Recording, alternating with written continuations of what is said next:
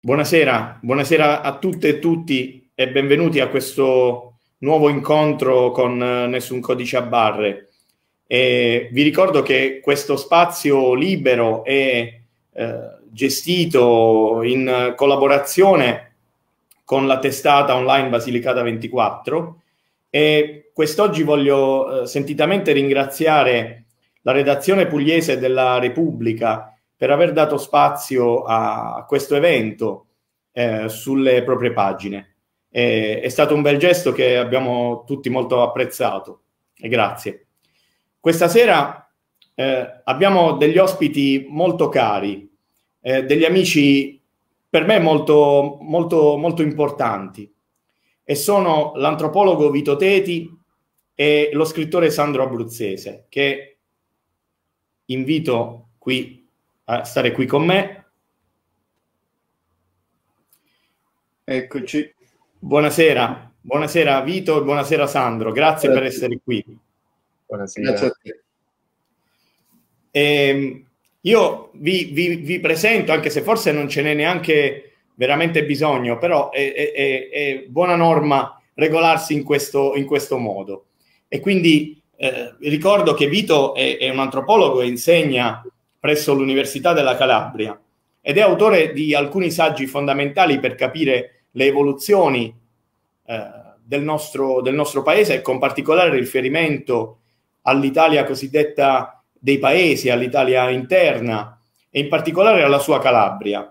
È autore di saggi fondamentali, tra cui io cito soltanto alcuni, che sono quelli che poi ho personalmente letto, tra cui Quel che resta, il vampiro e la melanconia, il recente Prevedere l'imprevedibile, eh, ma anche Maledetto Sud.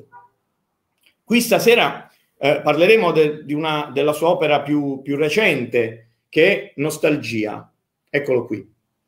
Edito da Marietti 1820 eh, negli scorsi mesi ed è un saggio molto bello eh, che verrà presentato in questa occasione attraverso un dialogo tra Vito e un altro caro amico di Nessun Codice a Bare, nonché un carissimo amico mio, che è Sandro Abruzzese, che voi avete già incontrato qualche episodio fa, potremmo dire, perché con lui abbiamo presentato Mezzogiorno Padano. Ed è eh, stasera si chiude un po' un cerchio molto, molto importante per me, perché come ricordavo ieri nell'incontro di preparazione con Vito e Sandro, io ho conosciuto eh, Vito grazie alla prefazione di Mezzogiorno Padano, che è l'opera appunto di Sandro che abbiamo presentato qui qualche, qualche mese fa. Sandro è eh, uno scrittore molto bravo, ma eh, contemporaneamente anche eh, svolge la, la, la professione di, di, docente, lui è, è, un docente di materie letterarie eh, a Ferrara. Quindi abbiamo due punti di vista, il, punti, il punto di vista di chi resta questa sera e Vito ci parlerà di questo punto di vista, il punto di vista della restanza, che è un termine che egli stesso ha coniato, e il punto di vista di chi parte, di chi è fuori dalla propria terra, perché Sandro è irpino, è di Grotta Minarda, in provincia di Avellino.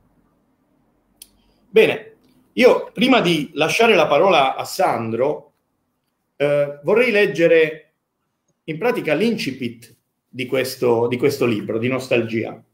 E poi, Sandro, ti cedo la parola. Eh, leggo a pagina 7. Nelle notti lunghe e insonni, quando tornano tutti i miei defunti e rivedo i volti e le storie delle persone amate, incontrate e conosciute, e provo a immaginare come sarà domani, perché domani ci sarà comunque, apro le confessioni di Sant'Agostino Forse questo libro non mi ha aiutato nella mia sempre agognata e cercata conversione, ma mi ha insegnato a vivere diversamente, a interrogarmi sul mio rapporto con il tempo e con gli altri.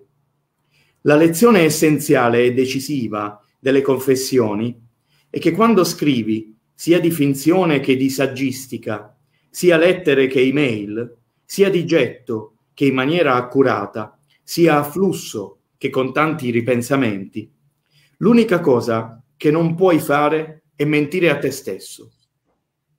Puoi certo mentire agli altri, puoi essere insincero, puoi scrivere con artificio cose in cui non credi, ma non puoi raccontarti menzogne, bugie, non puoi nascondere quello che senti e quello che provi. Il lettore se ne accorgerebbe più di quanto tu possa immaginare, ma soprattutto tu, sapendolo, comprometteresti l'opinione che hai di te stesso. Nel mio piccolo, nella mia irrilevanza di autore, in un libro sulla nostalgia, faccio quindi la mia confessione in apertura del libro. Sono nostalgico. La nostalgia non è il sentimento degli anziani, ma come avrei letto in seguito, comincia da bambino.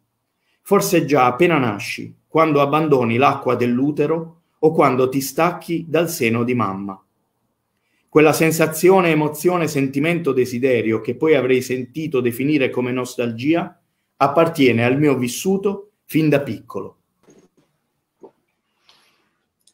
No, non l'ho sentito per un po'. Ora, ora ci siamo. Vi, vi, vi, avevo perso, non so a che punto. Comunque, comunque Vito, ci siamo. Voi mi avete... Eh, Sandro, tu mi sentivi? Certo. Ok. Ok, va bene. Credo che forse anche gli amici e le amiche che ora vado a salutare sui commenti ci abbiano sentiti. Sandro, vai, vai pure, lo spazio è tutto tuo. Eh, partendo da questo bellissimo momento autobiografico, perché Vito eh, e poi insomma fa parte del suo stile quello di riuscire a, a mescolare l'elemento autobiografico poi con, i, con la solidità dei suoi studi. E io eh, partirei direttamente con, con, una domanda per lui. Eh, e la domanda parte da un, un, libro che entrambi amiamo molto, eh, ed è La Luna e i falò.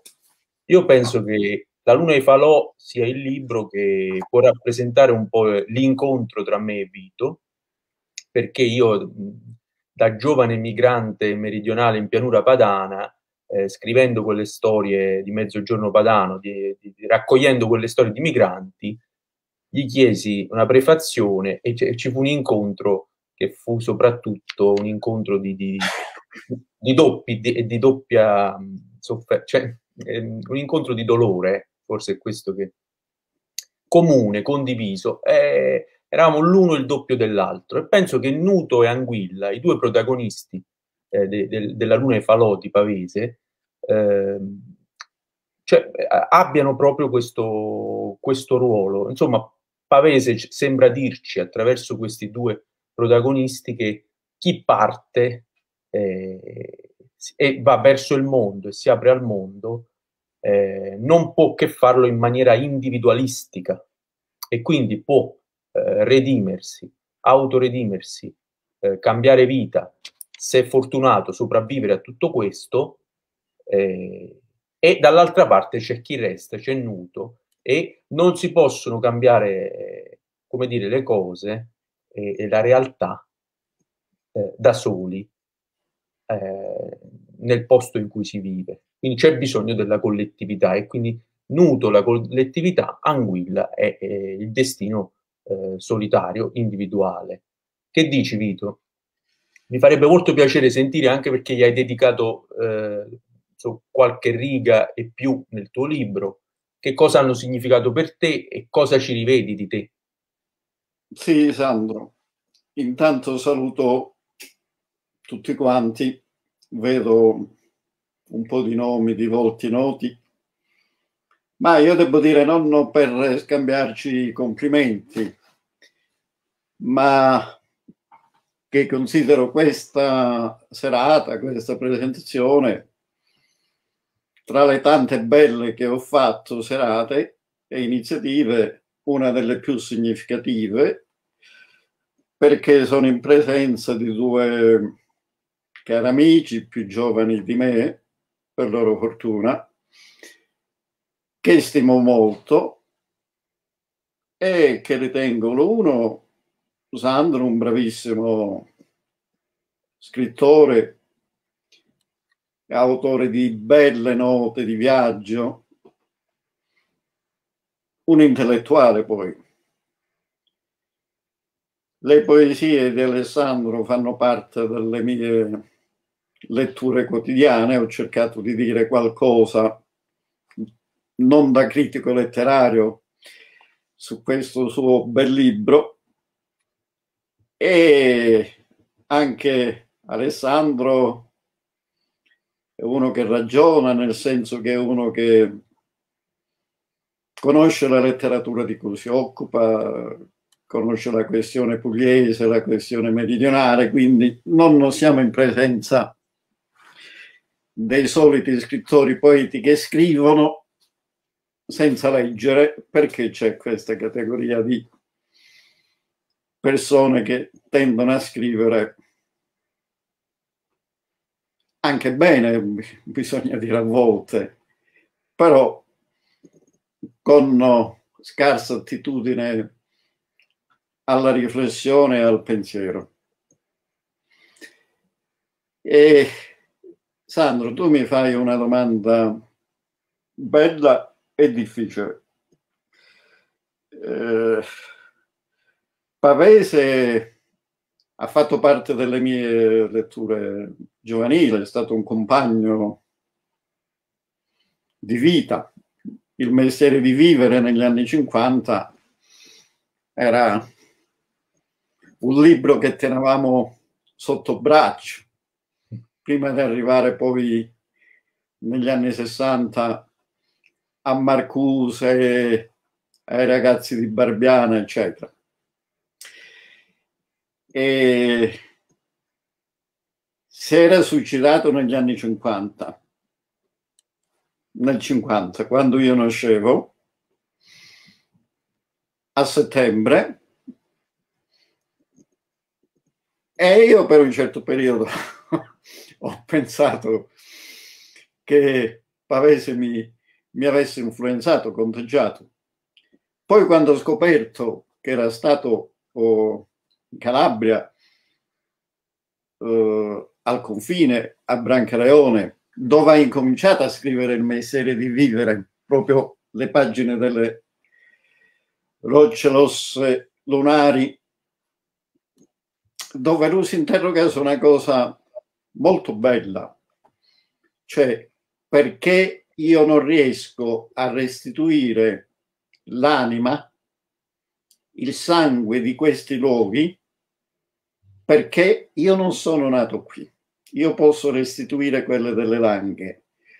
Percepisco che c'è un Dio incarnato in questi luoghi, però non è materia della mia poesia. Non vi nascondo che quando vado a Torino ogni tanto vado a farmi un giro nella stanza dove lui si suicidò. Non c'è nessuna ispirazione necrofila, ma proprio un atto d'amore nei confronti di questo grande scrittore. Che cosa ci dice in quel testo che tu citi bene, su cui hai scritto un, be- un bellissimo saggio. Secondo me che è difficile separare il restare e il partire e il tornare. E quel brano viene citato spesso male. Viene citato spesso male, lo notavi sia tu sia in maniera autonoma io, e questo è molto bello perché un poese vuol dire non essere sole e viene portato come il mito no? Del paese, l'elogio del paese, la nostalgia di chi resta e il rimpianto di chi è andato via. Però poi subito dopo aggiunge, ma un paese vuol dire anche no? fatica, tormento, e alla fine questo paese, che come dire, per chi è andato via è, è un rimpianto, perché è rimasto paradossalmente anche un dolore. Eh, ed è una cosa che io trovo molto attuale, perché per esempio noi dovremmo essere oggi nella situazione di non mitizzare molto i luoghi in cui siamo rimasti. Eh, con un fortunato seminario direi che i posti in cui uno è rimasto costano fatica, lacrime e sangue, perché non è facile restare. Forse certe volte restare è più spaesante del, del partire. Chiudi, hai difficoltà di integrazione, hai difficoltà di adattarti, rimpiangi il paese, ma spesso chi resta vede che pur essendo rimasto il paese comunque è andato via, è come se tu fossi rimasto in un posto che ti diventa estraneo, quindi l'inquietu- l'inquietudine, sia di che parte sia di chi resta. Quindi, come dire, in un certo senso, per consolarci siamo condannati a una doppia nostalgia. Chi, chi è partito è nostalgia perché è andato via, chi è rimasto a nostalgia perché è rimasto e perché non è andato via. E quindi eh, mi, mi, ha molto colpito quella, questa cosa che tu dicevi, cioè del fatto che ci sono due nostalgie, due anime della nostalgia, no? come, se, come, se, esistesse una nostalgia eh, passiva, dico tra virgolette, no? e quella eh, che tu sposi eh, completamente che è la nostalgia attiva. E, è quasi la tua lettura di questa antropologia del senti- un sentimento prese- del, del, presente, eh, è quasi come se tu dicessi che la nostalgia è, è, da un certo punto di vista il motore della storia. Eh, e c'è un passaggio su cui ti voglio portare, che è proprio quando tu a un certo punto parli dell'America, l'ennesima passione in comune che abbiamo, Bruce Springsteen, e la, la canzone, il folk americano, questo grande popolo che poi viene spesso, eh, come dire, eh, viene demonizzato eh, per quello che noi riusciamo a vedere, no? viene demonizzato l'aspetto istituzionale, politico, eh, che è molto lontano dal nostro, dalla nostra sensibilità a volte, anche se Biden adesso sta, ci sta dando un'ondata di incoraggiamento però tutto sommato cioè, si confonde il popolo americano eh, che è un incontro anche competitivo di etnie e da queste etnie eh, e quindi da questo enorme sentimento di nostalgia mh, nasce, nasce la, la, la, più grande potenza eh, del mondo mai esistita. Quindi, come dire, da, da un insieme di migranti nostalgici che competono etnicamente, nasce e quindi lì c'è quello che tu, secondo me, sostieni, c'è il motore della storia in una nostalgia attiva, nel dare tutto eh, all'infuori del contesto di appartenenza. Sì, ci sono alcuni studiosi dei movimenti, sono d'accordo con te, dei movimenti migratori che, che mostrano come l'evoluzione della specie di Homo sapiens in qualche modo sia legata proprio agli spostamenti del, delle persone e dei gruppi umani che spostandosi trovano nuovi luoghi, incontrano nuove persone. Questo è un motore, come dicevi tu, della, della storia. D'altra parte, volendo fare, come dire, il controcanto, accanto ai milioni di persone, ai miliardi forse di persone che si spostano, ci sono i miliardi di persone che restano. Quindi, cioè, il partire in qualche modo è possibile perché qualcuno è rimasto in quel bel brano iniziale che Alessandro ha letto e che io ringrazio anche per essersi assunto questo compito, poi essere letto da, da un poeta. E, è un onore. E io accenno, uno, al fatto che la nostalgia non è legata sicuramente all'età. Io ero nostalgico, per intenderci, da, da bambino. Ero nostalgico dell'America, di mio padre, dei compagni che andavano via e quindi no, non è un fatto di vecchiaia. Certo, adesso sono diversamente nostalgico. E, e due, che quello che dici tu, forse esasperando la cosa, l'Homo sapiens è un uomo nostalgico, è un uomo che comunque mh, mm, è sempre altrove, non è mai nel posto in cui si trova.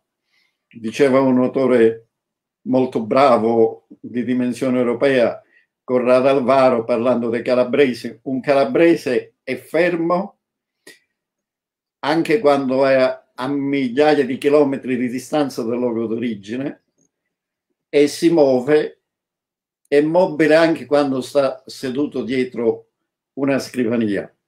Allora forse si tratta di capire, come dici tu, come è possibile fare i conti con la propria nostalgia, con l'abitare, con il ritrovare se stessi nel mondo in cui si è rimasti o si è arrivati, o nel mondo in cui si torna. E qui forse la scommessa è trasformare, come dicevi tu, la nostalgia in un sentimento non retrattivo, ma sovversivo, rivoluzionario, per, per andare avanti e non per tornare indietro, fermo restando che quello che abbiamo indietro va riscattato, va recuperato, va ricordato, ma non può essere ripristinato. È quello che diceva Pavese che tu hai, hai letto e, come dire, commentato. Non si torna mai al punto di partenza, perché dopo che Anguilla è andato in America, ha fatto fortuna, quando torna non riconosce nulla e soprattutto non viene riconosciuto da nessuno.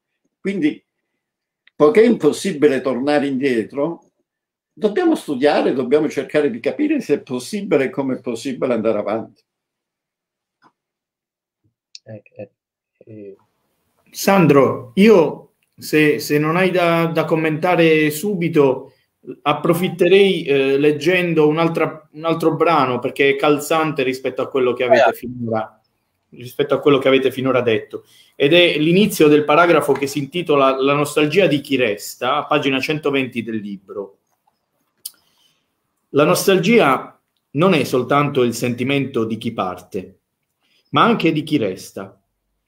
La nostalgia dell'altrove riguarda anche chi è rimasto e assiste alla fine del mondo in cui è nato, alle trasformazioni così forti e inattese da farlo sentire straniero in patria.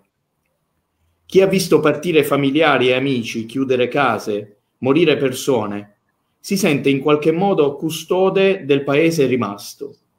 Conserva memorie del mondo che scompare. Vive l'amarezza di un duplice scacco della nostalgia. Ha desiderio dell'altrove senza essere mai partito.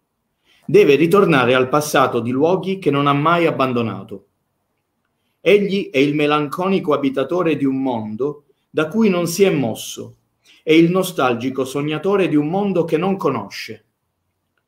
Nella tradizione culturale dell'Occidente, il nomadismo ha affascinato più della stanzialità, l'erranza più della permanenza.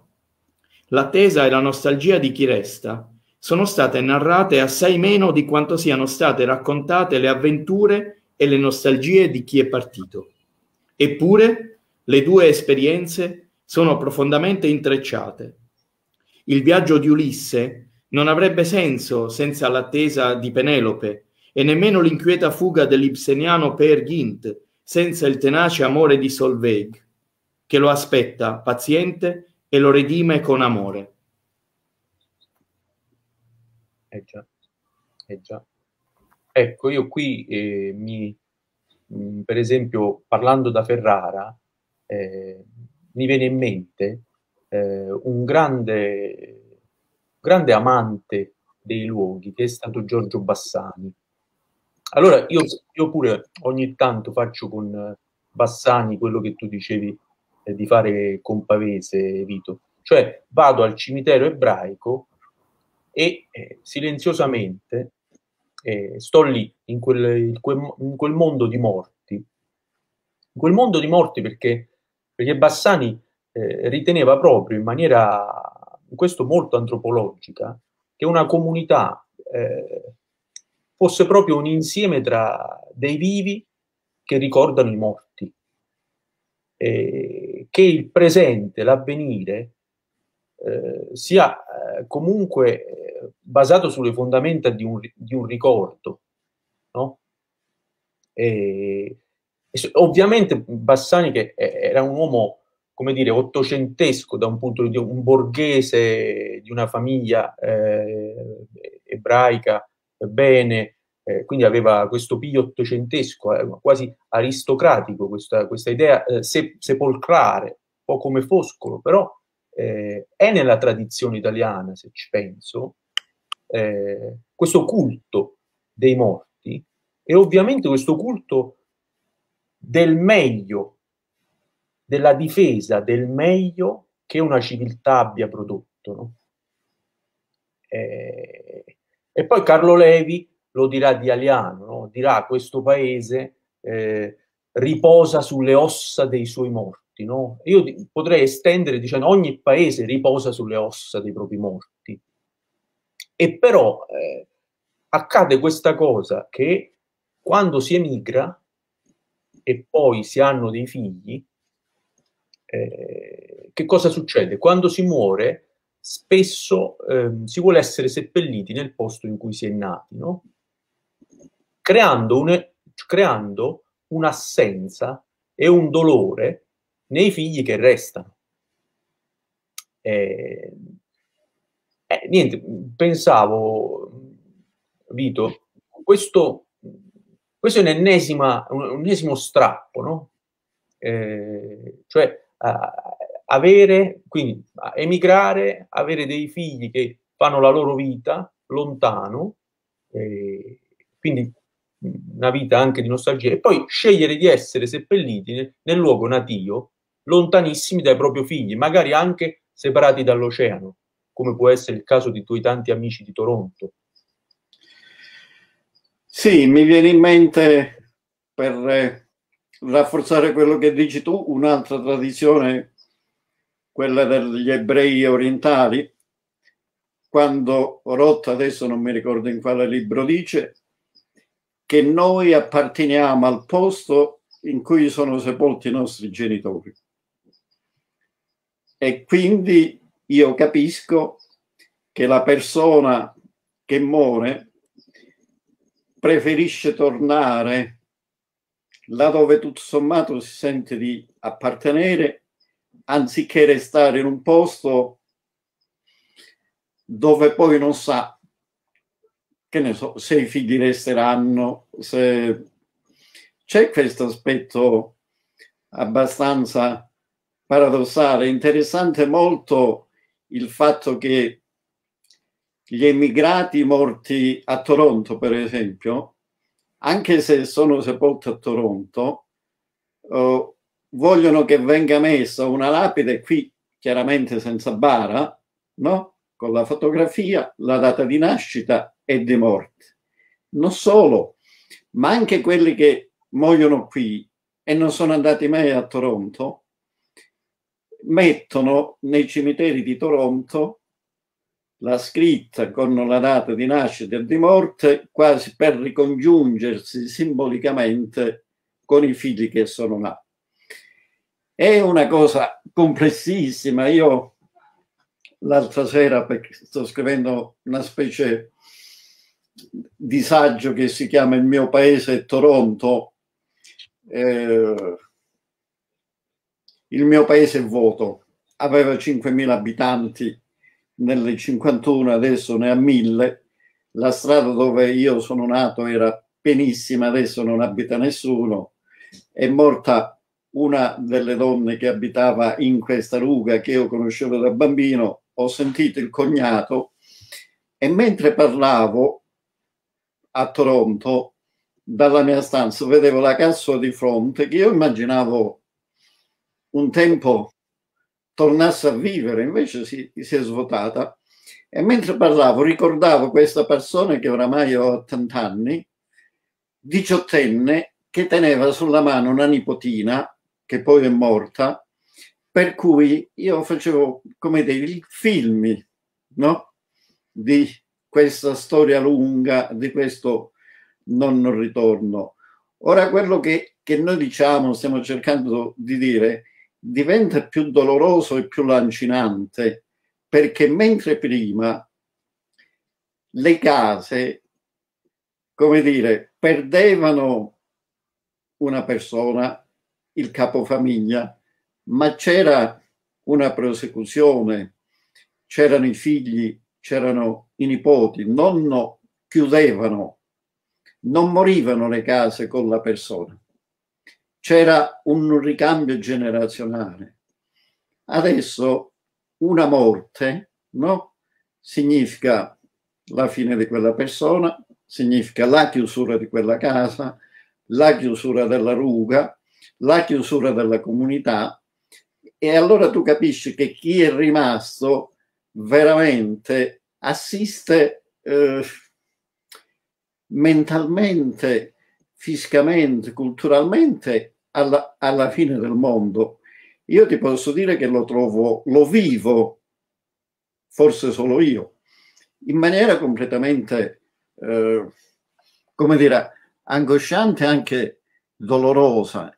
E non trovo confronto e conforto, per esempio, nelle nuove generazioni, nei giovanissimi, nei miei figli, che da quando sono nati hanno visto sempre chiuse quelle case. Quindi per loro le case chiuse, il paese vuoto, in qualche modo mh, ha una sua inquietante normalità. Non hanno volti da rimpiangere, non hanno storie da ricordare, non hanno tombolate a cui hanno partecipato, non sono andati a fare a chiedere la strenna, non hanno dato gli auguri di Capodanno alle vecchiette, eccetera. Non c'è una storia, era, era il voto. Allora tu capisci che lì è veramente difficile comunicare perché eh, questo fenomeno di spopolamento, di svuotamento dei luoghi che non riguarda solo i piccoli paesi, ma anche i centri storici, è qualcosa di veramente devastante che andrebbe eh, come dire, compreso, meditato, poi non so se c'è qualcosa da fare. Certo, l'unica cosa da non fare è andare compiaciuti in questi luoghi, immaginare che, le, che gli ultimi che sono rimasti siano delle persone felici, ma nello stesso tempo pensare anche che siano paradossalmente, la sto facendo lunga e mi scusate, gli ultimi potrebbero essere i primi di un nuovo mondo. C'è un paese che conosco tramite, eh, l'avevo osservato, l'ho fotografato, l'ho descritto e adesso tramite un'amica, una docente molto brava, Felicia Viori, che frequenta, è, è una famiglia che, che vive a Ferruzzano. La gente va e gli dice e questo è un paese abbandonato. Dice no, perché abbandonato? Ci siamo noi, abitiamo noi, sono quattro, no? Però abitano, quindi c'è, come dire, una sorta di idea nuova dell'abitare, forse di segreta e improbabile speranza, o probabile speranza che non avrà esito, che i luoghi potrebbero ripopolarsi. E qui però vai a cozzare con altri problemi. La demografia, il fatto che non nascono le persone, il fatto che non ci sono politiche per il recupero delle aree interne, che non ci sono progetti economici, che si continua a chiacchierare di rigenerazione dei luoghi e invece i giovani continuano a partire e si parla molto di tornare e non, in realtà non si torna. Ecco, poi su questo punto ti volevo, vi volevo, e anche Alex che vive a Lecce, vi volevo sentire. E, sì. e eh, su, su, su, quello appunto di partire e tornare. Colgo proprio quello che tu stavi dicendo, perché eh, ricordo che io ne, eh, negli, anni, negli anni veneti, insomma, negli anni, nei tanti anni in cui sono stato in pianura padana, anche in diverse regioni, eh, ecco, affetto da nostalgia, affetto da una ricerca delle origini che mi ha portato poi in strada eh, appunto alla ricerca di storie, eh, rimasi proprio sbigottito da eh, ministro del governo di centro-sinistra che all'epoca era Tommaso Padova Schioppa, mi pare, il quale disse che, eh, che gli italiani, i ragazzi italiani, erano dei bamboccioni perché non si muovevano, non, non volevano appunto spostarsi, non volevano partire.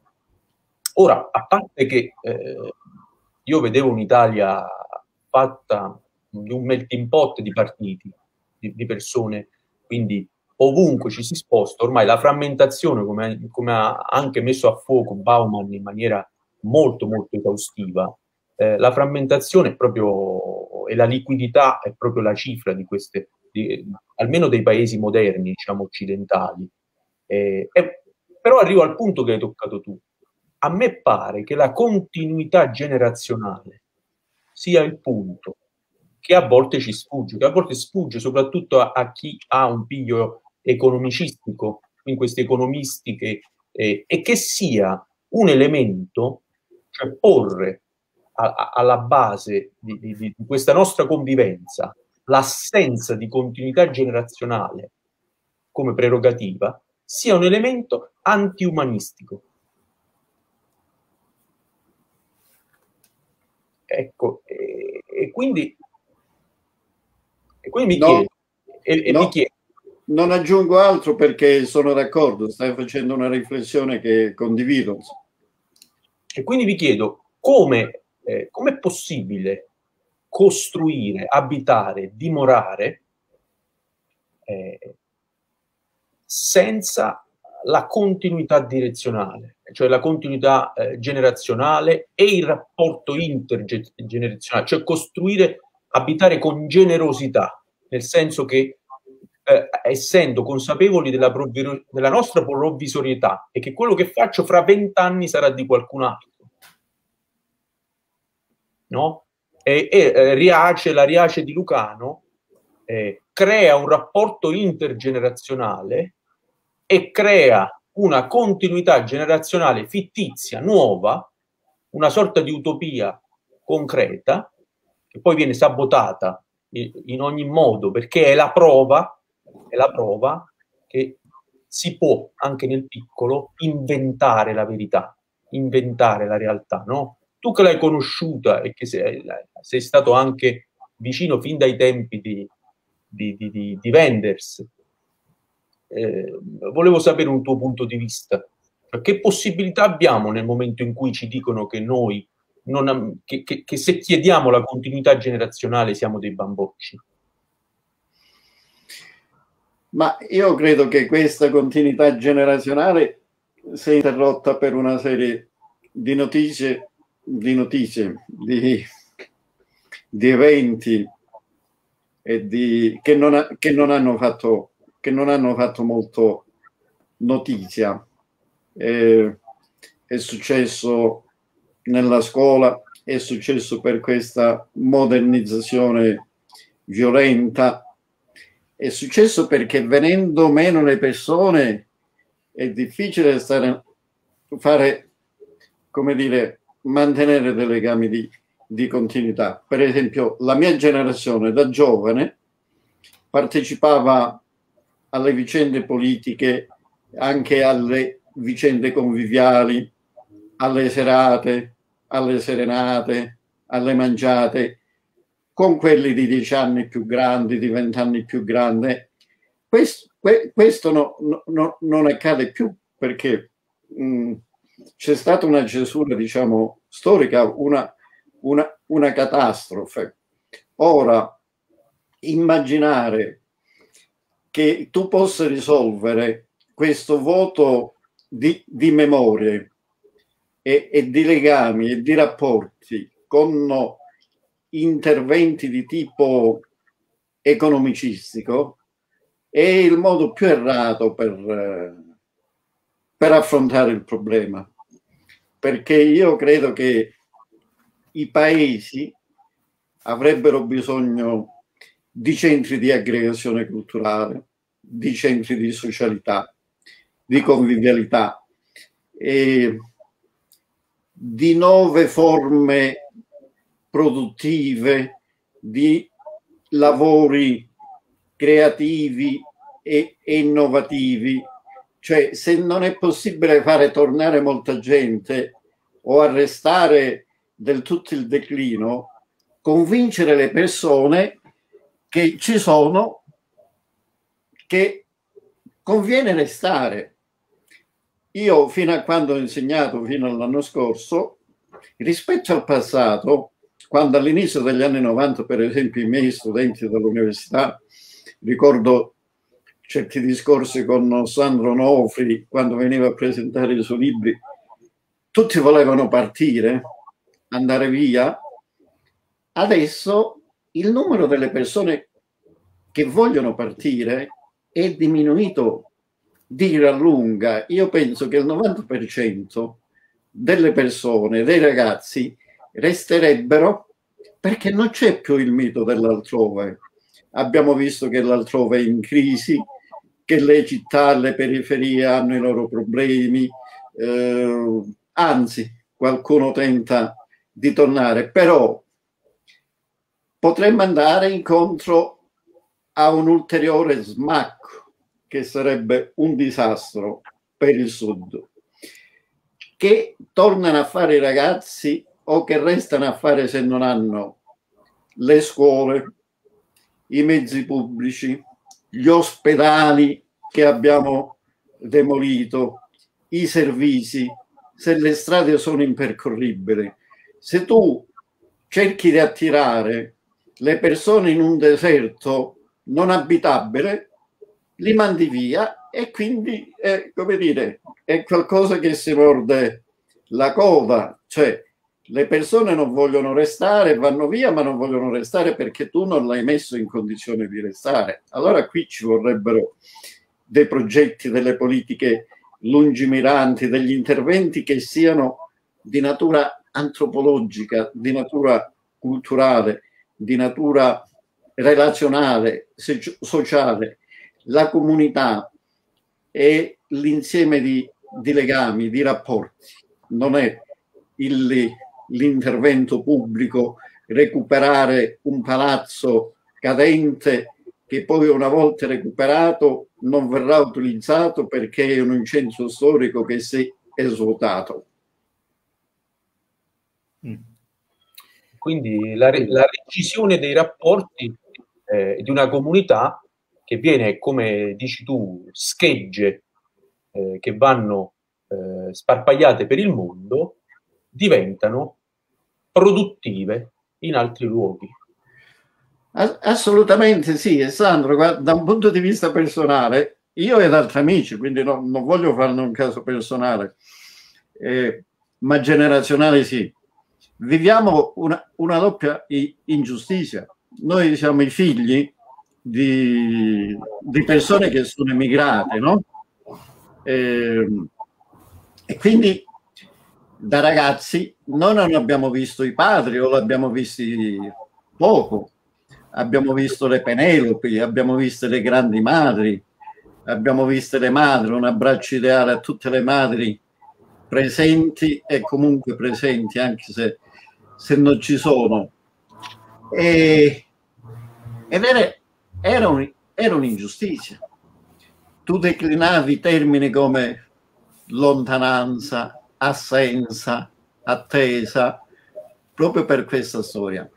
Poi, grazie ai sacrifici, alla fatica enorme, al dolore di questa generazione di emigrati, eh, la mia generazione è la prima del 68 che produce laureati, diplomati, l'accesso alla scuola, eccetera.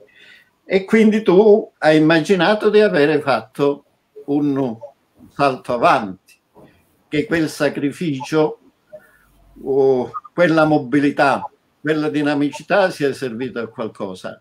Invece adesso ti trovi no, a vivere l'ingiustizia di assistere alla partenza dei figli che debbano andare a studiare fuori, che tu hai allevato qui, hai formato qui, spendendo i soldi qui per farli crescere e che debbano andare a portare il loro capitale economico, umano esistenziale affettivo altrove. E questo è profondamente ingiusto quando non è scelto, perché se scelgono di andare va, va benissimo, ma se sono costretti ad andare, tu dici perché mai?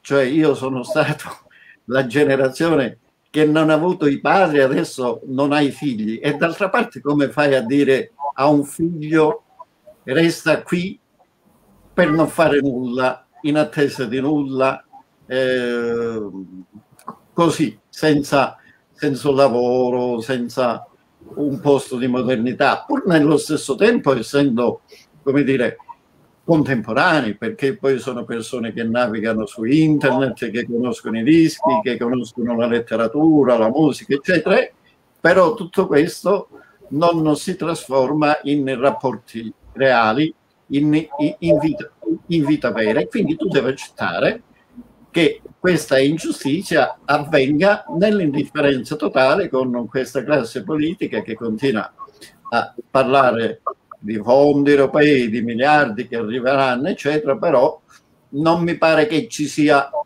almeno finora, un progetto per rigenerare, per rendere di nuovo abitabili questi luoghi. E quindi alla lunga, anche tu Sandro, uh, sì, torni perché ci sono i tuoi genitori, eccetera, eh, ma poi domani i tuoi figli perché dovrebbero tornare nel tuo paese di nascita? Molti immigrati dal Canada, dagli Stati Uniti non tornano nel paese perché non hanno più una casa dove abitare e quindi vanno in Florida, vanno a Cuba, quando invece le case sono tutte vuote, si potevano recuperare ristrutturare quelle case no? cadenti e almeno dare la possibilità un mese all'anno ad alcuni emigrati da tornare. Sarebbero stati piccoli segnali, ma poi come si dice, ogni piccolo segnale può innescare meccanismi di crescita, di scambi, di incontro e, e così via. Tutto questo non mi pare che, che sia avvenuto perché il rapporto tra rimasti e partiti, e questo lo trovo interessante, è stato molto retorico strumentale. L'emigrato è quello a cui devi dare la pacca sulle spalle, è quello che conosce il termine dialettale più di quello che è rimasto in paese, è quello che mi veniva detto, no? Solo che però l'amico canadese che guidava il camion no? e ricordava il proverbio meglio di me, poi parlava inglese, poi parlava tedesco e poi si muoveva in una metropoli, quindi tutta questa finzione che uno era rimasto come era partito è, è, anche, è anche assurda e quindi noi abbiamo utilizzato più il proverbio, più l'arcaicità, più la nostalgia retrattiva, anziché intercettare quanto di nuovo, di originale erano riusciti a costruire e accogliere le novità che avevano come dire, elaborato e che potevano portare nel paese. E invece noi siamo rimasti a questa immagine paradossale, duplicemente edulcorata, del rimasto nei confronti del partito e del partito nei confronti di quello che è rimasto. Sì, Sandro, io vi interrompere perché ci sono degli interventi eh, da parte di amici ed amiche da, che ci stanno ascoltando ed è giusto che, che li commentiate magari eh, insieme. C'è innanzitutto Matilde Spiniello che scrive Nostalgia prende chi è partito e spinge al ritorno, ma nostalgia prende anche chi resta e vorrebbe partire. È un sentimento senza tempo e senza età. Gli anni ne consegnano solo il peso, talvolta faticoso e in estremo, insopportabile.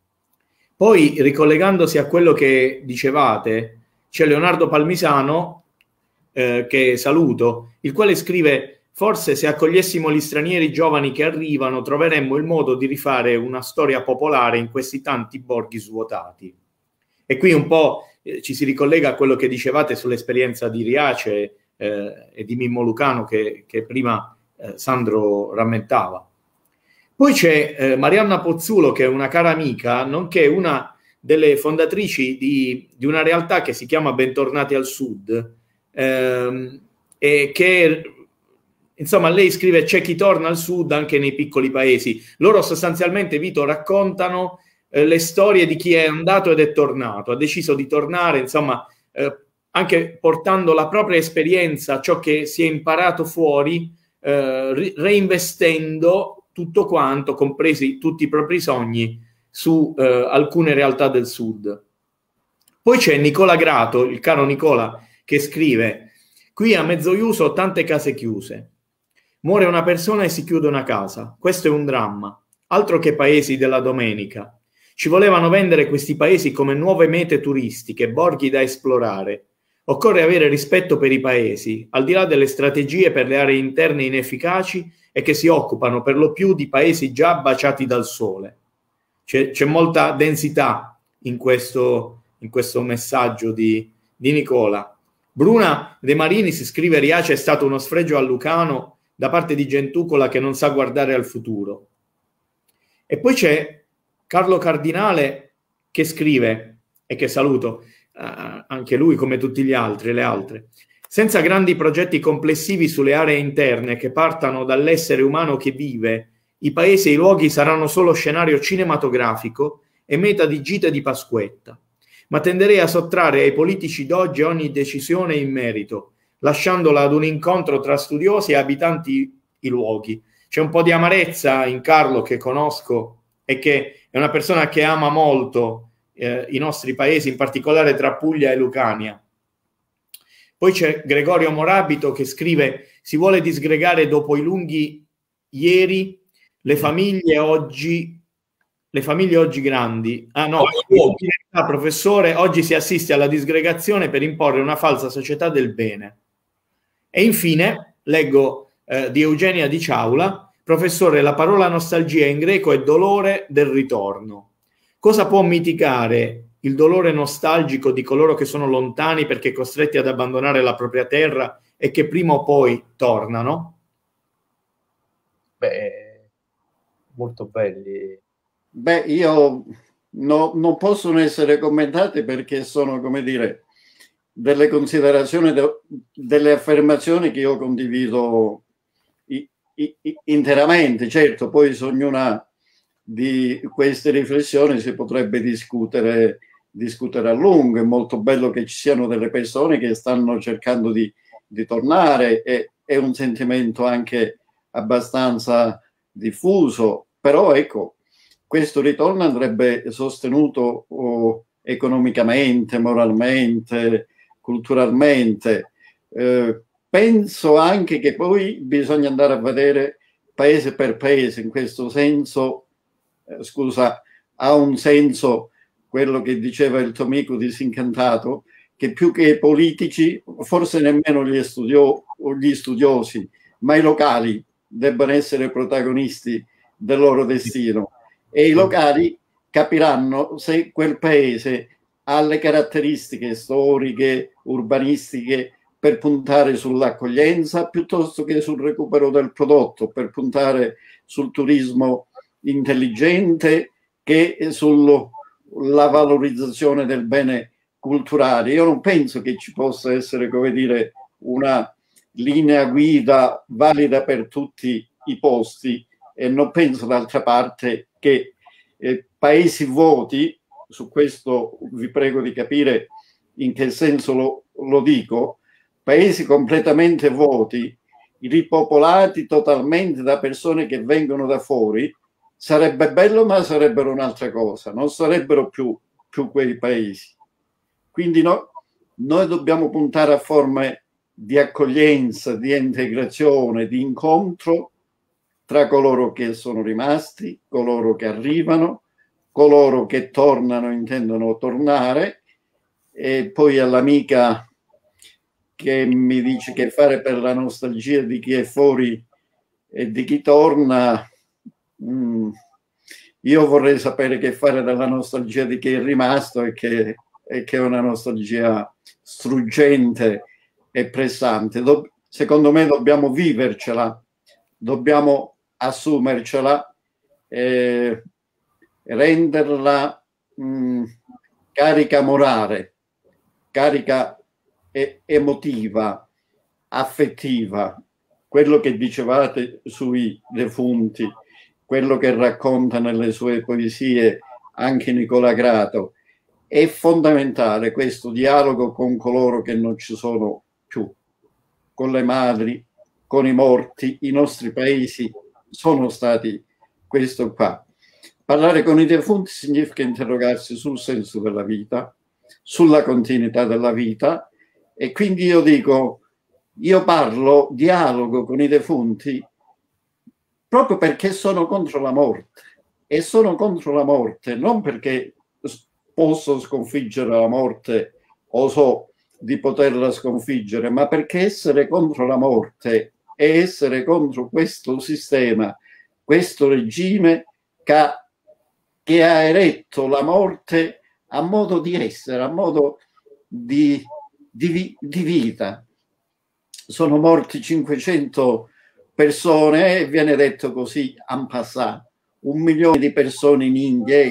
Tro, trovo molto cinico tutto questo, ridurre la vita di milioni di persone a una cifra, a, a, a un numero. In questo senso sono contro la morte e solo chi ha pietà, sentimento di ciò che è stato, di quello che resta, di quelli che sono stati prima di noi, possono cercare di affermare le ragioni della vita, avendo chiaro che noi non sappiamo in che direzione stiamo andando, avendo chiaro che noi forse stiamo costruendo l'ennesima trappola per l'umanità.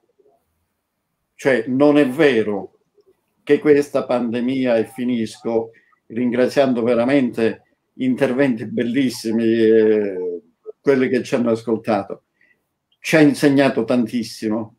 Questa umanità noi non stiamo cambiando, noi non abbiamo preso atto di quello che è successo, noi eh, siamo quasi portati a vivere come una sorta di incidente quello che è avvenuto e poi domani si ritornerà a quello di prima. No, è impossibile tornare a quello di prima, non bisogna tornare a quello di prima perché eh, oltretutto le grandi sfide, eh, per esempio la, la grande crisi climatica contemporaneamente sta avanzando, il mondo sta andando verso la deriva e non se ne accorge, sta rimuovendo questo problema che cammina assieme alla pandemia, a, alle guerre, alla fame nel mondo.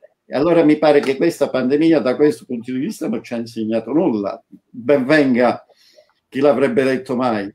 Papa Francesco II che dice che bisogna liberare, va, vaccinare tutti quanti, a, a, aiutare e sostenere tutto il mondo, siamo tutti sullo stesso pianeta e non capiamo nemmeno che se, come diceva eh, qualcuno che apparteneva al marxismo tradizionale, che finché non c'è una persona eh, che non è libera, l'umanità non è libera, ma finché non c'è una persona che, che non è in sicurezza, nessuno di noi è sicuro. Ci salviamo tutti assieme o non ci salviamo affatto. In questo senso la comunità deve essere fatta da persone che stabiliscono relazioni che hanno una stessa non visione del mondo, ma una stessa voglia di stare assieme nel mondo. Vito, io scusami, Sam. No, ti volevo, volevo sì, sì, eh, rispetto a questa vostra riflessione, che una cosa da nord, come dire, anche per eh, in qualche modo ridimensionare eh, il, la sensazione di specialità o di specificità eh, del Sud. Io qui eh, vado costantemente in giro, soprattutto per l'est ferrarese, eh, e quindi che, che, tra l'altro fa parte delle aree cosiddette marginali in via di spopolamento. E, e devo dire che eh, qualsiasi paese in questa realtà eh, è annichilito. Cioè, eh, e mi pare che eh, questo sia qualcosa che abbiamo in comune, insomma, ne, eh, con l'unica differenza che i paesi e le comunità eh, del, che almeno attraverso io del nord Italia, è, è come se avessero ormai rinunciato alla, al, al, discorso sulla comunità, non tutti ovviamente, è come se avessero eh, abbracciato ormai eh, la, la, modernità intesa come mobilità e come, eh, e come anche, come dire, rapporto eh, di minore conoscenza con quello che c'è intorno e con i luoghi.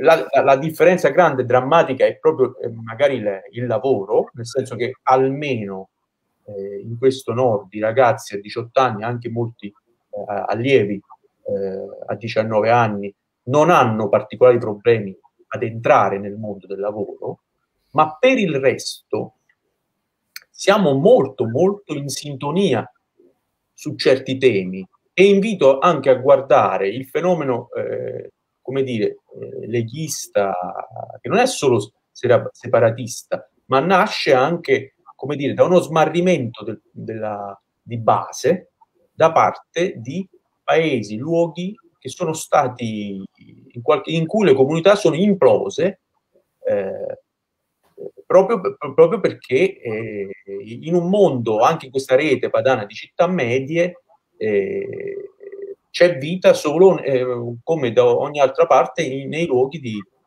dai 30.000 abitanti in su. Per il resto, quindi abbiamo molto in comune e quindi io inviterei sotto questo aspetto a, ad avere uno sguardo nazionale perché acquistiamo più forza, più consapevolezza e possiamo mettere in rete anche. Cioè, non ne farei solo un discorso di tornare eh, al sud, ma un discorso nazionale di eh, salvaguardia dei luoghi. Eh, quindi di diritto al lavoro, quindi la Costituzione, quel bell'articolo che tu hai scritto sul Fatto Quotidiano, eh, eh, appunto, eh, la strada madre della Costituzione, non, sia per il LEP ovviamente, che per eh, il primo articolo, cioè una Repubblica fondata sul lavoro e, e quindi la, la, la, la dignità del lavoro è libertà che ci consente poi di uscire anche da questo discorso della comunità per sottolineare che nella comunità, come diceva Vito, ci sono anche i privilegiati e ci sono quelli che rendono asfittica le istituzioni, la comunità e che rendono ben accetta la partenza proprio perché hanno uno spirito non comunitario oppure di una comunità tribale, etnica, eh, che non è più sicuramente, non ha un senso democratico. Sì, Sandro, hai colto perfettamente anche quello che fa, fa, fa parte del, del, brano, che, anche il contenuto del brano che volevo, volevo leggere tra poco. Eh, io mi permetto di, di, aggiungere qualche considerazione. Ti ringrazio per aver ricordato quell'articolo scritto sul Fatto Quotidiano la settimana scorsa, che un po' voleva mettere il dito nella piaga, e cioè noi abbiamo già una Costituzione che in sostanza ci indica la via per intervenire anche eh, ai fini della riduzione de- degli annosi divari che sussistono tra le macro aree, come si suol dire, del nostro paese tu citavi l'articolo 17, eh, comma 2, lettera M, sostanzialmente eh, attuandolo anche il federalismo all'italiana, che è un federalismo da tutti visto come un federalismo un po' claudicante, forse potrebbe sortire qualche, qualche beneficio, in quanto sostanzialmente eh, indicherebbe la via della spesa anche delle risorse in arrivo con il recovery fund. Ma in realtà tutto si vuole tranne che attutire i divari. Al contrario, si vuole continuare probabilmente a, a, gestire una politica di piccolo cabotaggio, la politica della retorica, del localismo, del particolarismo, dell'accaparramento avido delle risorse, che va nella stessa direzione del mondo di cui parlava Vito poco fa, del mondo della cosiddetta normalità. Tuttora leggiamo, dopo questo, questi lunghi e, e tormentati mesi di pandemia, sui media dei titoli che invocano, che auspicano il ritorno alla normalità. Ma quale normalità? Eh, proprio giorni fa leggevo Pandemiocene, un libro molto interessante, un pamphlet di, di Nico Catalano e Michele Sozio, in cui appunto si diceva ma qual è la normalità che agogniamo, a cui agogniamo ritornare, quella che ci ha portato in queste condizioni. quella di un'umanità che sostanzialmente non si è resa ancora conto di trovarsi su una zattera zonzo nel cosmo di cui anche abbastanza poco sappiamo e con risorse limitate e siamo in tanti e dobbiamo amare insomma la, la, la terra su cui ci troviamo invece la stiamo distruggendo con l'avidità che caratterizza un po' anche qui forse dico una un'eresia ma spesso caratterizza molti gruppi umani. E, e, e quindi eh, finalizzata all'accaparramento delle risorse, delle terre a danno di una maggioranza che soffre, come ricordavate prima. Però ecco, quello che vorrei fare sarebbe, insomma, invitare anche gli amici e le amiche che ascoltano la lettura dei, dei saggi di Vito, in particolare ora oggi parliamo di nostalgia, perché come ricordavi prima tu, Sandro, Vito ha questa, questo approccio alla saggistica con una cifra che è molto anche eh, soggettiva, molto eh, emozionale, no? Ci sono, traspaiono le emozioni di chi scrive. Eh, sì, c'è antropologia, ma c'è anche una lettura molto personale che permette anche a un profano come me di leggere un saggio di, di Vito Teti. E, e, soprattutto io lo devo ringraziare, vi devo ringraziare per essere stati qui, ma devo ringraziare Vito perché invita alla sintesi, l'hai fatto anche tu poco fa, no? delle esperienze e non alla conflittualità retorica tra chi è partito, tra chi torna, tra chi resta, perché quella conflittualità non ci aiuterà mai. Quella conflittualità è alla base della permanenza delle cose nello stato in cui si trovano. E invece probabilmente proprio quello che auspichi tu, Sandro, quella sintesi di esperienze, può servire a superare le differenze tra le nostre scelte, che spesso sono delle scelte obbligate, delle scelte sofferte, eh, non tutti coloro che restano probabilmente fanno del bene al proprio territorio. Io ricordo sempre che i sodali del Gattopardo sicuramente avrebbero fatto meglio a partire ad andare molto lontano invece di, di, di, di restare e viceversa tante di quelle energie, di quelle potenzialità dei ragazzi che sono partiti, penso a Sandro per esempio, quanto bene avrebbero potuto fare alla terra di provenienza e invece, come diceva Vito, sono energie che si stanno, tra virgolette, spendendo su altri territori dopo essersi formate sul proprio, dopo che il proprio territorio ha investito sulla loro formazione. E adesso, guardate, io eh, vi leggerei, se siete d'accordo, un altro piccolo brano e poi se volete eh, potete eh, poi magari vi leggo dopo anche qualche altro intervento che nel frattempo vedo che si sta accumulando, quindi prima di chiudere eh, è giusto che ve li legga. Vi leggo questo piccolo brano ed è l'ultimo che leggo oggi. È tratto da La memoria sovversiva, sempre eh, in nostalgia, pagina 220. Edward Thompson è tra gli autori che segnalano come la storia delle vie mai imboccate dei fallimenti sia la storia delle discontinuità, dei fili spezzati, dei frammenti, delle contingenze. Scrivere la storia dell'utopia vuol dire desiderare un futuro dipinto con i colori della nostalgia passata, di una nostalgia capace di immaginare un futuro diverso da quello realizzato. La nostalgia non è più un concetto adatto a neutralizzare la storia, è capace di sprigionare a certe condizioni dinamiche sovversive. Cercare l'utopia nel passato non significa essere nostalgici di una felicità perduta, ma rintracciare piccole isole di intimità nel mare della sofferenza. Il passato può e deve, riscat- e deve essere riscattato come un universo sommerso di potenzialità diverse, non compiute, ma suscettibili di future realizzazioni. Un riscatto, un risarcimento, una restituzione che diventano un esercizio morale attraverso cui pensare il presente non nella forma di quello che è, ma nei termini di quello che potrebbe essere. Bisogna però non indulgere alle retoriche della nostalgia e delle invenzioni della memoria. Se è necessario possedere un villaggio vivente nella memoria, non bisogna abbandonare la memoria nel villaggio. La memoria deve sottrarsi all'irretimento di un paese morto, che non parla più, scomparso per sempre. Bisogna camminare e saper tradire, dimenticare il villaggio, non restare vittima dei suoi pericolosi defunti. La memoria del villaggio non deve diventare retorica del buon tempo antico mai esistito e invenzione di origini illustri e gloriose. Deve essere costruzione per non perderci, non elemento di negazione e prevaricazione degli altri che hanno altre origini e altre patrie.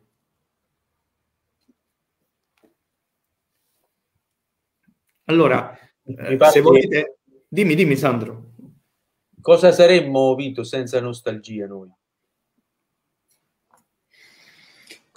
Mm, temo, te, temo nulla perché nell'accezione in cui l'adopero ha a che fare con, con desiderio, con sentimento dell'altrove, con rimpianto, con sogno, con utopia. E, e, e, e l'uomo è questo qua è immaginazione, è fantasia, eh, è desiderio di migliorare il mondo, è rimpianto quindi in un certo senso, ma proprio per, per paradosso, eh, l'Homo sapiens è, è, è anche soprattutto uomo nostalgico che va avanti e indietro, che inventa, che sogna, che riscatti il passato, che lo dimentica e, e tutto questo ha a che fare con le caratteristiche dell'uomo che sono appunto l'immaginazione, la fantasia, la creatività, la ricerca morale, la voglia di, di cambiare il mondo. Volevo dire che mh, mm, è molto bello quello che dici tu, perché il problema non è riabitare eh, San Nicola, Calitri, eh, è riabitare l'Italia, riabitare i luoghi.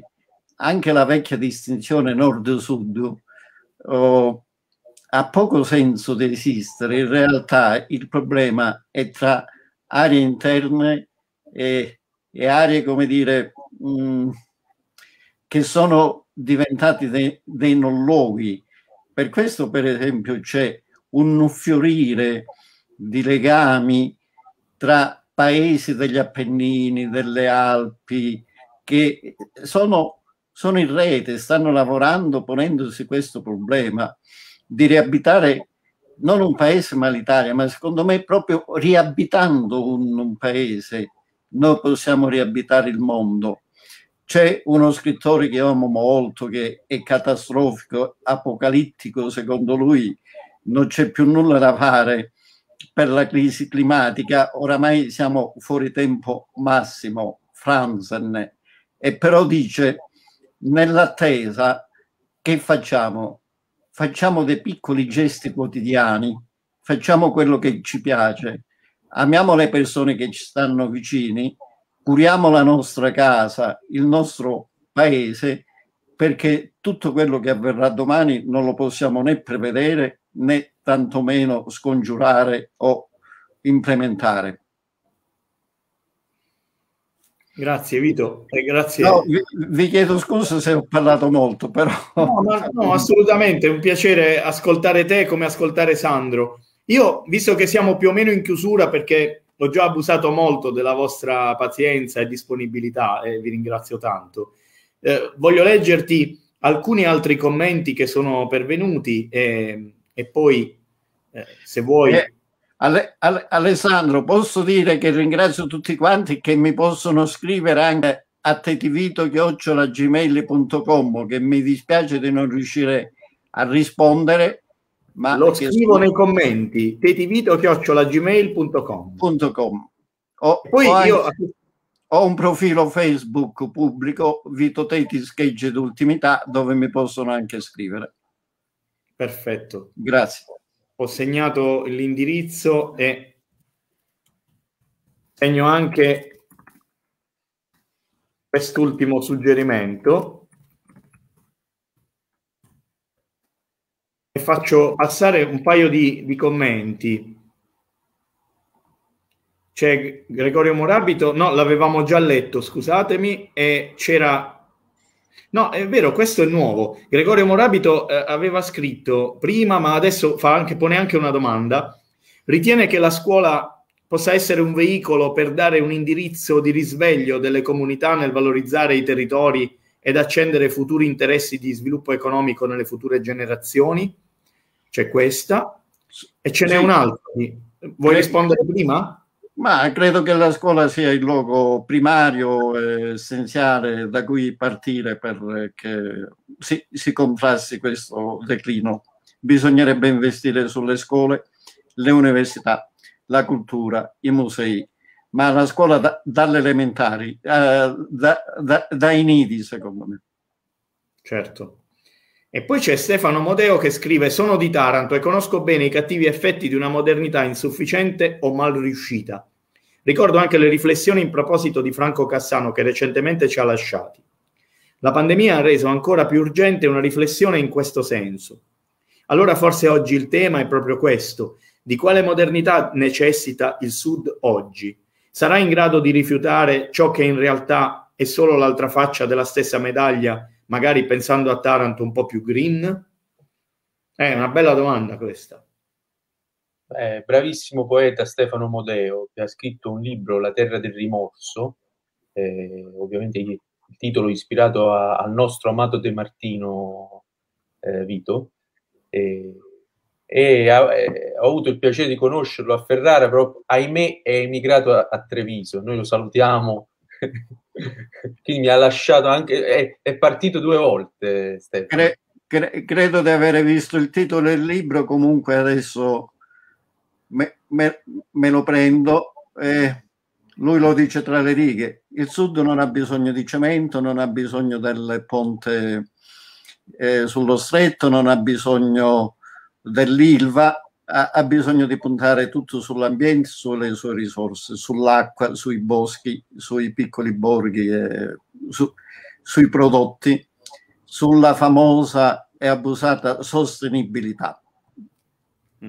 Sì, magari da un punto di vista culturale, io ricordo che le, i più grandi eh, contributi a questo paese sono arrivati da eh, persone che oggi sarebbero definite di aree interne, e mi riferisco per esempio al contributo filosofico di Gramsci che è, è, è cresciuto in Sardegna, ne, nel cuore della Sardegna, in un piccolo paese, in realtà eh, non piccolissimo, Ghilarza, eh, che contributi originalissimi eh, sui luoghi ci sono venuti da, da, Alex Langer, che è nato in una frazione di un paese montano del Sud Tirolo, e, e, e, quindi nella nostra tradizione c'è un contributo delle periferie verso il centro che è, e Vito credo che possa essere ascritto a, a questo tipo di tradizione, che è incredibilmente feconda,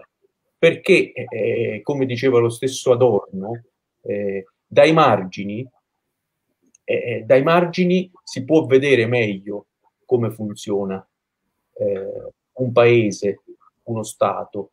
Eh, non è soltanto una questione di, di, di, di eh, disaffezione per la metropoli, eh, è solo che ci vuole una reciprocità prospettica. E quindi a noi, mh, nel momento in cui noi poniamo eh, il discorso del Sud senza porre il discorso dell'Italia, eh, secondo me viene meno una reciprocità, reciprocità prospettica che ci serve eh, perché il discorso italiano è anche quello che, eh, di andare verso una cultura, Lange diceva non per il potere, una cultura che sia realmente della libertà individuale, della libertà che quindi diventa collettiva, diventa valore, perché altrimenti, e parlo di me, eh, faccio un, come dire, dell'autobiografia, altrimenti ci saranno delle persone, tanti giovani, che vorranno andare via per sentirsi liberi. E quindi c'è una corresponsabilità, una chiamata in correo da parte di tutte quelle istituzioni e di tutti eh, quegli ambienti che ancora nel 2021, con lo spopolamento, con, con il declino dell'Italia, sono attaccati al potere, sono, sono attaccati proprio come i baroni eh, di cui eh, ci parlavano cioè, i Fortunato o i, i, i, i, grandi della questione meridionale, come dire, abbiamo cambiato casacca, siamo diventati ceto medio, siamo diventati, è cambiato il blocco storico però quell'accaparramento e quell'amore egoistico per il potere fine a se stesso è molto più forte dell'amore per i luoghi e per, e per le comunità. Insomma. E questo è un discorso italiano, ovviamente, che nei margini dell'Italia diventa, diventa molto, molto più, eh, do, dove il paese è più fragile si fa più cupo.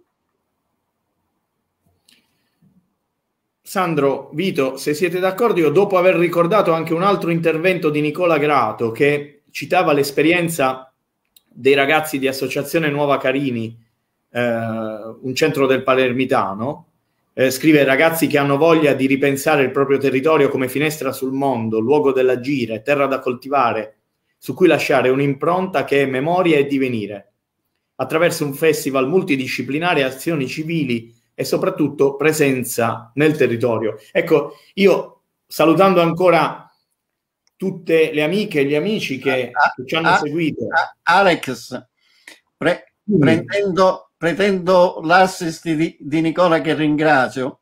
Io inviterei tutti quelli che ci hanno ascoltato di, di mandarci notizie di, di, esperienze che vanno in quella direzione per fare una specie di mappa di quello che sta cambiando, di quello che si sta facendo e perché no, anche aprire uno spazio, noi abbiamo quel che resta, i blog, i profili nostri e mettere in circolazione queste idee che non, non camminano molto sui grandi, diciamo, giornali. È vero, è vero. È una bellissima idea e spero che qualche amica e amico magari intendano raccoglierla perché in effetti questa operazione di, di, di, di raccolta no? di, esperienze positive potrebbe essere veramente utile in effetti eh, nell'ottica di tutto quello che ci siamo detti. Ora io nel congedarci eh, ricordando il tuo bel libro Nostalgia, che mostro ancora. E, ecco, quello che vorrei fare, raccogliendo forse le intenzioni di Vito e sicuramente anche di Sandro, è un po' dedicare questo nostro incontro di oggi alla bellezza, insomma, delle nostre, delle nostre mamme. Eh, in fondo, eh, quelle che ci sono e quelle che non ci sono più, che, perché in fondo i loro sogni vivono forse attraverso i nostri occhi e sulle nostre mani. Però ecco, anche di sogni eh, vorrei, vorrei, parlare prima che, che, ci congediamo, perché vorrei che questo sforzo, questo, questo impegno vostro, questo incontro di oggi così proficuo, sia dedicato anche ai sogni di tutti, di tutti noi e non solo eh, ai sogni realizzati, aggettivo che va molto di moda in questi giorni sui media, ma soprattutto i sogni che non sono stati realizzati, no? I sogni che forse non riusciremo mai a tirare fuori dal, dal cassetto in cui si trovano, per varie ragioni, spesso non dipendenti dalla nostra volontà, eh, ai sogni negati, a quelli sofferti e a tutti i fili spezzati che penzolano nei nostri petti. Io vi ringrazio, vi ringrazio tantissimo. Buona serata. Buona serata a tutti.